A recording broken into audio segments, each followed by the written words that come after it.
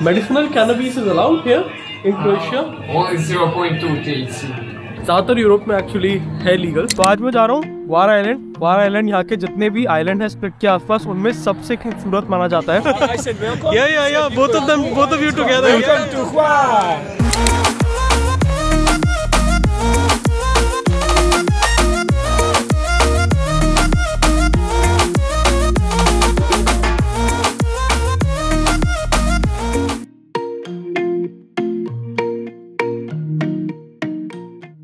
ferry terminal तक जाने के लिए मुझे लेनी पड़ेगी एक बस इसलिए मैं यहाँ पर एक बस स्टॉप पे वेट कर रहा हूँ अपनी बस के लिए। वो बस मुझे लेके जाएगी करीब 20 मिनट में फेरी टर्मिनल पे और फेरी करीब एक घंटे की राइड है वार आइलैंड तक की। मुझे जल्दी वापस भी आना है क्योंकि मुझे आज फ़्लाइट भी कैच करनी है for my next destination Split बड़ी ही शांत और प्यारी सी जगह है, आपने बाकी वीडियोज़ में अभी तक देख ही लिया होगा। तो अगर आप क्रोएशिया का प्लान बना रहे हो कभी तो स्प्लिट ज़रूर आइएगा, आपको बहुत अच्छा लगेगा। और अगर यूरोप आ रहे हो तो कोशिश करें कि क्रोएशिया को अपनी आइटनरी में शामिल कर पाएँ। बहुत ही अच्छी जगह है।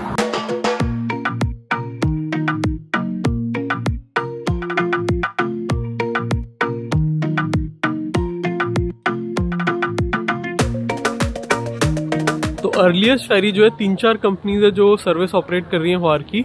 वो अब एक घंटे में नेक्स्ट सर्विस यानी कि एक घंटे वेट करना पड़ेगा यहीं पे।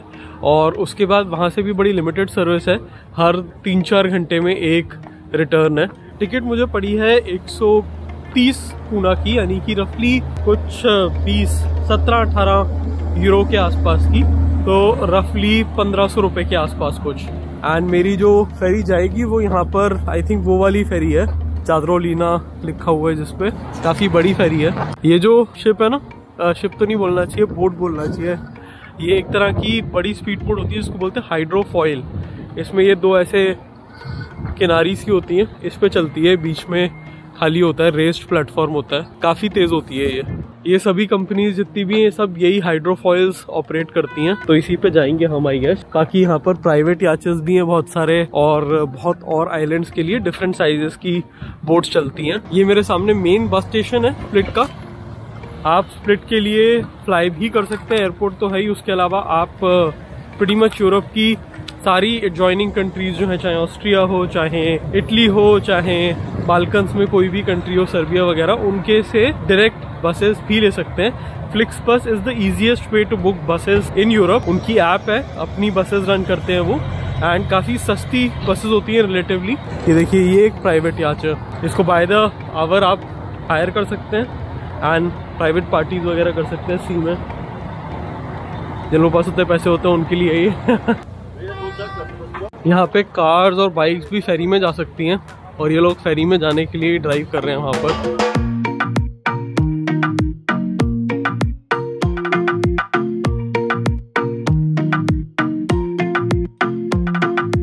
तो ये हमारी फेरी है। छोटी वाली फेरी है हमारी, वो बड़ी वाली नहीं है। बट फिर भी खूबसूरत है। यहाँ पे देखो रेस्टोरेंट एंड बार भी है और प्लेन जैसा सीटिंग अरेंजमेंट है। सीट्स भी काफ़ी कंफर्टेबल है। एंड अच्छा सा नज़ारा है बाहर का बट थोड़ा साफ़ नहीं है। एक घंटे की जर्नी है, जैसे मैंने बताया था। और बहुत ही ब्यूटीफुल जर्नी होने वाली है। पता नहीं मैं आपको कितना दिखा पाऊँगा, क्योंकि ऊपर डेक पे जाना अलाउड है नहीं। और यहाँ से तो बड़ा ही लिमिटेड सा व्यू आ रहा है बिकॉज़ विंडोज़ इतने क्लीन नहीं है। बट होपफुली आपको समझ में आ जाएगी जर्नी तो।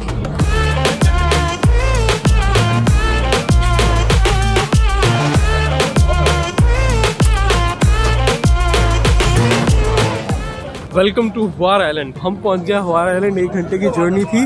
बहुत ही स्टेबल शिप थी ये तो काफ़ी स्टेबल थी, बहुत आराम से जर्नी कट गई, पता ही नहीं लगा। Very nice journey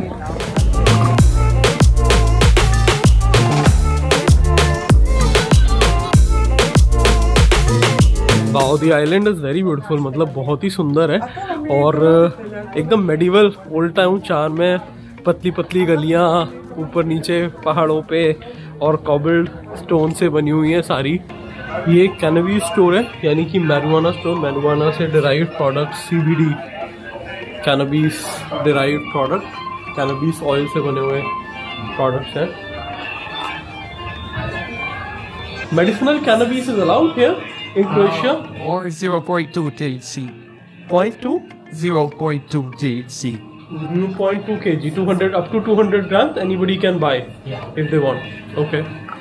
तो मैरुआना यूज़ पे लिबरल है क्रोएशिया ज़्यादातर यूरोप में एक्चुअली है लीगल एम्स्टरडेम में तो कॉफ़ी शॉप्स होती हैं कॉफ़ी शॉप बोलते हैं उसे बट यहाँ पे मिलता है यही हेम्प यानी कि मैरुआना या वीट जिसको बोलते हैं. अमेरिका में भी काफ़ी जगह पे अब लीगल है for medical use in certain states like California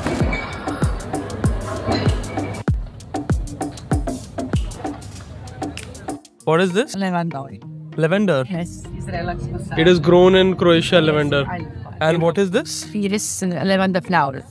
Lavender flower. Yes, yes. Aha, okay. Uh, for what decoration or Decoration. Decoration काफ़ी सारी शॉप्स यहाँ पर लेवेंडर और ओलिव ऑयल सेल कर रही हैं मैंने बताया था आपको एक टाइम पे मैरी टाइम यानी कि शिप बिल्डिंग का ट्रेड यहाँ पे बहुत स्ट्रॉन्ग था। सबसे बड़ी फ्लीट क्रोएशिया की हुआ करती थी। और ऐसे ही cultural products lavender olive oil ये सब कुछ काफ़ी ट्रेड किए जाते थे यहाँ पर। ये देखो कितना मस्त तरीका एडवर्टाइज करने का। साइकिल लगा रखी है और डायरेक्शन एरो पे बता रखा है। यहाँ पे बुकिंग हो सकती है। और मैं ले रहा हूँ ये एक पिज़्ज़ा काजू काफ़ी अच्छा। तो ये टूरिस्ट इन्फॉर्मेशन ऑफ़िस है। मैं यहाँ से ही कुछ इन्फॉर्मेशन ले लेता हूँ। I am here only for two hours what can I do on the island On the island, it's too big to visit for two islands. So this is where we are. Okay You can climb up to the fort, हाँ see the तो इन्होंने मुझे ये map दे दिया है और ये बोल रही हैं कि प्री मच फोर्ट ही है यहाँ पे जो एज सच देखने वाली चीज़ है। अरे भाई ये तो बड़ी सुंदर सी कोई शॉप है। यू आर दी आर्टिस्ट वो ज्वेलरी स्टोर वाली, उसको इंग्लिश नहीं आती थी। प्रीटी मच ओनली पर्सन मेरे को अभी तक जो यहाँ पे मिली, जिसको इंग्लिश नहीं आती थी। वो खुद ही आर्टिस्ट थी मतलब खुद ही अपनी ज्वेलरी बना रही थी, जो सेल कर रही थी वो। स्टोर बहुत ही सुंदर बना रखा था उसने अपना।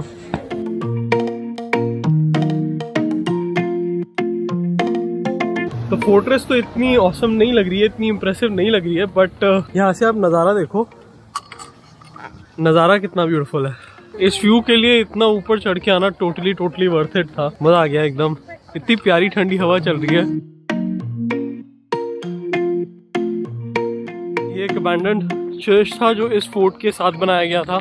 अब फोर्ट में कोई नहीं रहता चर्च भी कोई नहीं जाता चर्च खंडर हो गया। केवल ये फ्रेम बचा उसका। और व्यू पॉइंट है। हाइक करके जो लोग थक गए हो, उनके लिए बैठने के लिए जैसे मेरे लिए। अभी भी यहाँ से टॉप करीब पाँच मिनट की हाइक दूर है। चलते, देखते हैं। अमेजिंग नज़ारा मिलेगा ऊपर से।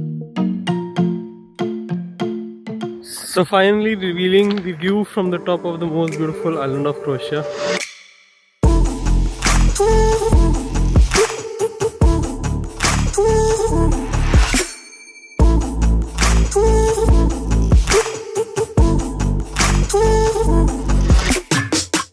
तो this is the end of this vlog पसंद हो हमारा एंड तो लाइक कर देना।